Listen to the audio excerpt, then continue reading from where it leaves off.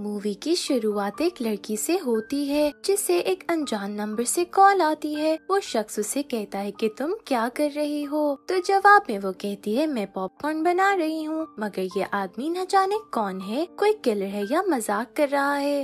ये जानने के लिए आगे बढ़ते हैं। उसकी हरकतें तो किलर वाली हैं, इसलिए हम उसे किलर ही कहेंगे। वो आदमी भूत के गेटअप में होता है और लड़की से कहता है कि तुम्हारा नाम क्या है? क्योंकि जिस लड़की को मैं देख रहा हूँ, आखिर उसका नाम तो मुझे पता होना चाहिए। ये सुनकर लड़की डर जाती है और उसे कहती है, मेरा बॉयफ्रेंड अभी पहुँचने ही वाला है, वो तुम्हें मार डालेगा। जवाब में किलर उसे कहता है, तुम पीछे का दरवाज़ा बंद करना भूल गई हो। लड़की जल्दी से जाके पीछे के दरवाजे को लॉक करती है। तभी किलर अंदर आ जाता है। लड़की उसे देख कर बाहर की तरफ़ भागती है तो उसे डेथ और सेफ्टी का बोर्ड नज़र आता है और वो अनजाने में डेथ की तरफ़ भाग जाती है। किलर उसे पकड़ लेता है और उसके कपड़े फाड़ देता है। तो लड़की शॉर्ट ड्रेस में ही वहाँ से भाग जाती है। इसी दौरान पीछे से वो आ जाता है और उसे चाकू मार कर उसकी बॉडी से सिलिकॉन निकाल लेता है। शायद वो इसीलिए आया था। तभी उस लड़की को अपने डैड की गाड़ी नज़र आती है। वो उनसे हेल्प मांगती है मगर डैड गाड़ी में रोमांस करने में बिज़ी थे।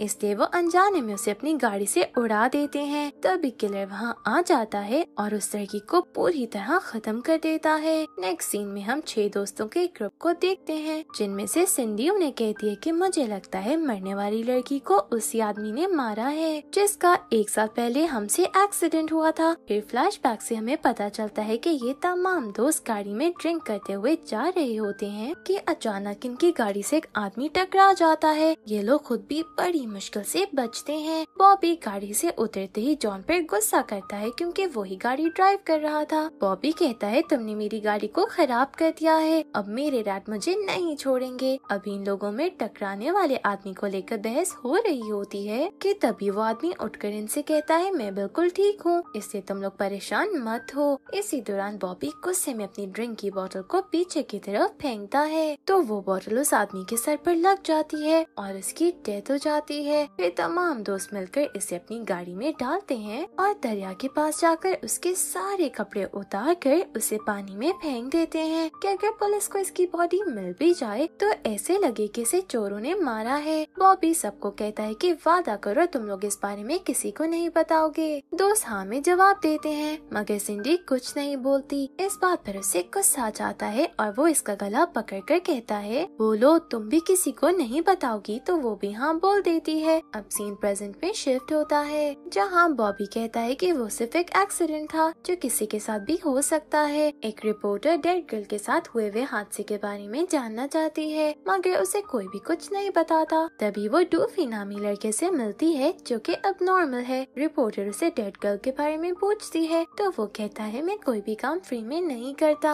तो लड़की उसकी फिंगर को अपने मुँह में डाल देती है और कहती है, चलो, गाड़ी में जाकर रोमांस करते हैं। तो डूफी भी मान जाता है। कॉलेज में सिंडी को एक पेपर मिलता है, जिसमें लिखा था कि मैं जानता हूँ, तुमने पिछली हेलोवीन पार्टी में क्या किया था? ये देख के उसके तो होश ही उठ जाते हैं। बॉबी को लॉकर में अपने सीक्रेट पार्ट की तस्वीर मिलती है। ये देख के उसे बहुत गुस्सा आता है। इसलिए वो अपने दोस्तों को कहता है, बताओ किसने किया है ये? उन लोगों को इस बारे में कुछ भी नहीं पता होता। इससे वो उसका मज़ाक उड़ाना शुरू कर देते हैं। तभी सिंडी ने बताती है कि मुझे भी एक पेपर मिला है, जिसमें उस आदमी के बारे में लिखा है, जिसे हमने पिछले हेलोवीन पर मार दिया था। वो मजीद इनसे कहती है कि हमें पुलिस को बताना चाहिए। ये सुनकर बॉबी को गुस्सा आ जाता है। और वो इसे मारने लगता है कि अगली दफ़ा पुलिस का नाम लिया तो तुम्हें जान से मार दूँगा। पिंडी एक शो में परफॉर्म कर रही होती है। बॉबी भी उसे देख रहा होता है कि तभी पीछे से किलर आ जाता है। पिंडी चिल्ला चिल्ला कर उसे कहती है कि वहाँ से हटो, मगर किलर बॉबी को चाकू मारता है, जिससे उसकी डेथ हो जाती है। दरअसल पिंडी एक्टिंग की परफॉर्मेंस दे रही होती है तो कोई भी इसकी बात पे ध्यान नहीं देता, बल्कि इतनी ज़बरदस्त एक्टिंग करने पर वो ये कॉन्टेस्ट जीत जाती है। सिंडी को किलर की कॉल आती है तो वो इसे कहती है, कौन हो तुम और कहाँ हो? तो जवाब में वो कहता है, मैं तुम्हारे घर पर ही हूँ। वो इसे ढूंढ लेती है और कहती है, मैं तुम्हें देख सकती हूँ, तुम सोफे के पीछे हो। तभी वो उठकर इस पर अटैक करने की कोशिश करता है, मगर वो वहाँ से भाग जाती है और उसके हाथ में जो भी चीज़ आती है, वो इस किलर पर फेंक देती है। वो पियानो को भी उसकी तरफ़ फेंकती है, मगर वो बच जाता है, लेकिन सिंडी की ग्रैंड उसकी लपेट में आ जाती है। फिर वो पुलिस को वहाँ बुला लेती है। पुलिस को देखकर किलर वहाँ से भाग जाता है कि तभी वहाँ जॉन आता है। सिंडी उसे सब बताती है कि तभी उसकी पॉकेट से चाकू, फ़ोन और ग्लव्स निकलते हैं। उसे लगता है कि यही किलर है। इससे वो इसको अरेस्ट करवा देती है। स्टेशन में पिंडी और डूफी सिंडी को लेने आते हैं कि तीनों घर जाती हैं जहाँ हमें पता चलता है कि डूफी पिंडी का ब्रदर है। वो कहता है, अगर ज़रूरत पड़ी तो हम उस आदमी को पानी से निकाल लेंगे, जिसे तुम लोगों ने लास्ट ईयर मारा था। सिंडी ये सुनकर चौंक जाती है। तो पिंडी उसे कहती है कि मैंने ही ब्रदर को बताया है। तुम फ़िक्र ना करो, ये तो पागल है। इसकी बात का कोई यकीन नहीं करेगा। सिंडी को फिर से किलर की कॉल आती है। उसे अब यकीन हो जाता है कि जॉन किलर नहीं है। तो वो उसकी बेल करवा लेती है। पिंडी अपने लॉकर को ठीक कर रही होती है कि तभी वहाँ किलर आकर उसको मार देता है। रिपोर्टर एक लड़की से कहती है, तुम आज मरने वाली हो। इस बात को वो लड़की मज़ाक में उड़ा देती है और कहती है, फिर तो काफ़ी अच्छी बात है। तभी वहाँ किलर आकर इस लड़की को चाकू से मारने लगता है।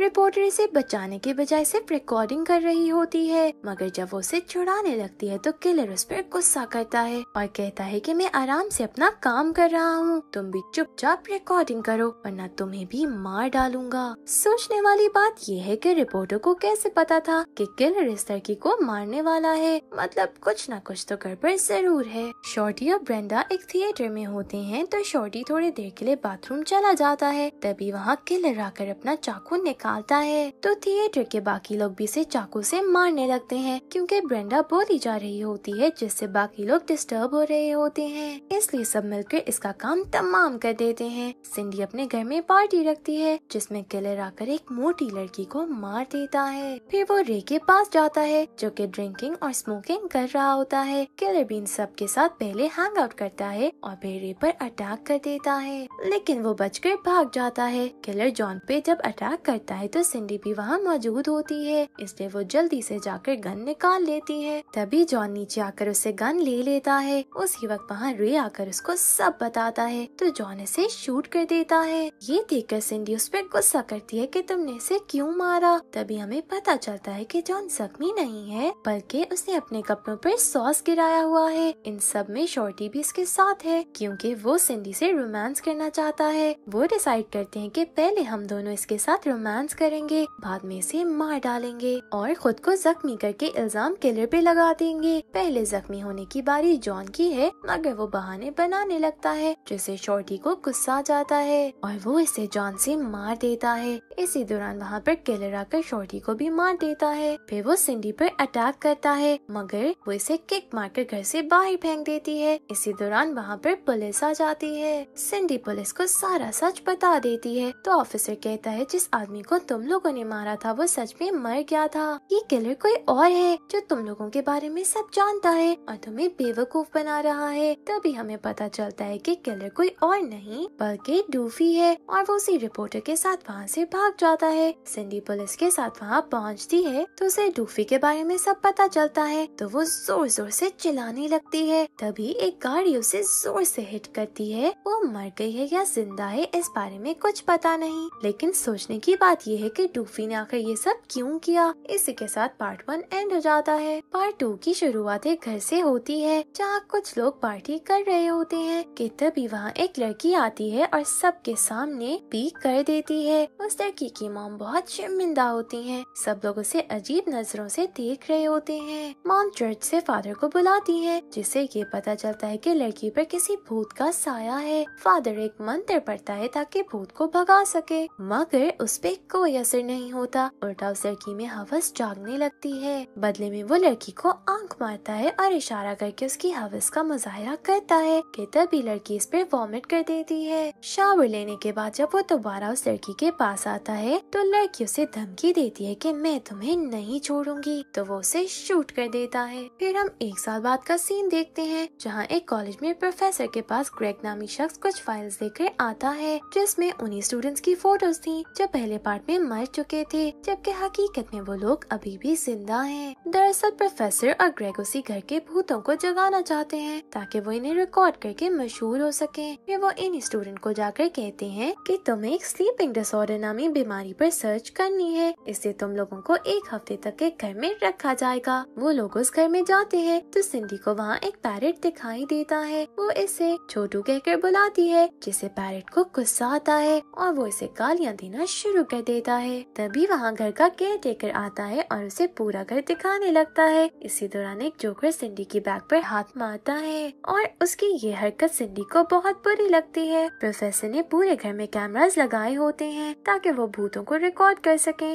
सब लोग खाने के टेबल पर होते हैं। तभी वहाँ बफी नामी लड़की आकर उनसे कहती है, मुझे भी कोई चेयर देगा? या नहीं। तो सारे लड़के अपनी चेयर की तरफ़ फेंक देते हैं। यहाँ तक कि ग्रेग भी अपनी व्हील चेयर से दे देता है। इसी दौरान केयर टेकर खाना लेकर आता है और अपने गंदे हाथों से उन्हें सर्व करता है। तो सब लोग बिना खाए ही उठकर चले जाते हैं। सिंडी को रात में कुछ आवाज़ें सुनाई देती हैं। तो वो और बडी दोनों साथ मिलकर उनका पीछा करते हैं कि तभी उन्हें पैरों के निशान दिखाई देते हैं, जो कि खून के हैं। फिर उन्हें एक सीक्रेट रूम का पता चलता है। रूम में न्यूज़पेपर पे एक आर्टिकल लिखा हुआ था, जिससे इन्हें मालूम होता है कि इस घर में कपल की डेथ हो चुकी है। तभी उन्हें डेड गर्ल की पेंटिंग दिखाई देती है, जो कि बिल्कुल सिंडी जैसी है, लेकिन ये लोग इस बात को सीरियस नहीं लेते। और एक बॉक्स को लेकर वहाँ से चले जाते हैं। एलेक्स अपने रूम में सो रही होती है कि तभी एक मेल आत्मा उसके साथ रोमांस करने लगती है। शॉर्टी अपने रूम में एक्सरसाइज कर रहा होता है कि तभी उसे कुछ आवाज़ें सुनाई देती हैं। जब वो बेड के नीचे देखता है तो एक भूत दिखता है, जो कि बिल्कुल भी डरावना नहीं है। उसे बेड के नीचे खींच लेता है और रोमांस करने लगता है। प्रोफेसर बेसमेंट में ग्रेग के पास जाता है और उसे कुछ बातें करता है, जिन्हें बडी सुन लेता है और जाकर बाकी स्टूडेंट्स को बता देता है कि यहाँ भूत रहते हैं और हम यहाँ से जा भी नहीं सकते क्योंकि इन लोगों ने सारे दरवाजे लॉक कर दिए हैं। प्रोफेसर को एक लड़की की आत्मा अपनी तरफ़ बुलाती है तो जैसे ही वो उसके पास जाता है, वो इसे मार देती है। असल में ये उसी कपल में से है जिनका इसी घर में कत्ल हुआ था। प्रोफेसर की चीखों की आवाज़ सुनकर सभी आते हैं। तो ग्रेग उन्हें कहता है कि हमें इस आत्मा का कोई इलाज करना होगा। साथ में वो इन्हें कुछ गन्स और ग्लासेस देता है, जिससे आत्मा इन्हें दिखाई देगी और गन से उस आत्मा को मारा जाएगा। लेकिन वो उन्हें ये चीज़ें एहतियात से इस्तेमाल करने का कहता है। सिंडी और बडी को याद आता है कि इस आर्टिकल में लिखा था कि इस कपल की मौत एक भट्टी में हुई थी। सिंडी भट्टी का दरवाज़ा खोलती है तो वहाँ से उस लड़की का ढांचा उठकर उसका पीछा करने लगता है। वो चिल्लाती हुई ब्रेंडा के पास जाती है तो वो इस ढांचे की हड्डियाँ तोड़ देती है। उसको भागता देख के ये दोनों खूब हंसती हैं। रे एक कमरे में छुपा होता है कि लड़की की आत्मा उसके पास जाती है, जिसे देखकर उसके अंदर हवस जाग जाती है। मगर जैसे वो इसकी शक्ल देखता है तो डर जाता है। फिर वो हिम्मत करके उसके मुँह पर एक बैग डाल देता है और अपनी हवस मिटाने लगता है। बडी और सिंडी एक रूम में होते हैं, कि तभी दूसरी आत्मा इनको कोल्ड रूम में फेंक देती है। वहाँ पर बहुत ठंड होती है, जिससे बडी का जिसम ठंडा पड़ जाता है, वो दोनों अपनी बॉडी को हीट अप करने के लिए रोमांस करते हैं। ग्रेग आत्मा को ढूंढ कर उस पर गोलियाँ चलाता है, मगर नाकाम हो जाता है। बडी और सिंधी भी कोल्ड रूम से बाहर आ जाते हैं। आत्मा केयर टेकर की बॉडी में आ जाती है। तो तीनों लड़कियाँ मिलकर उसकी खूब वाट लगाती हैं। तभी बडी आकर इन तीनों को वहाँ से ले जाता है। ग्रेग इन सबको बताता है कि आत्मा को यहाँ तक लाओ। तो सिंधी आत्मा को इस जगह लेकर आती है। तो वो लोग सिंधी को वहाँ से हटा देते हैं और आत्मा को इस दुनिया से आज़ादी दिला देते हैं। फिर हम दो माँ बाप का सीन देखते हैं, जहाँ सिंधी उसी पैरट से बात कर रही होती है, जो अभी भी इसको गालियाँ ही दे रहा होता है। रे लड़की की आत्मा को अपने साथ ही ले आया था और वो इसके साथ खूब मज़े करता है, लेकिन उसने उसका मुँह ढका हुआ है। इसी के साथ मूवी का पार्ट टू भी एंड हो जाता है। सो मिलते हैं नेक्स्ट वीडियो एक नई इंटरेस्टिंग स्टोरी के साथ। तब तक के लिए good luck and thank you for watching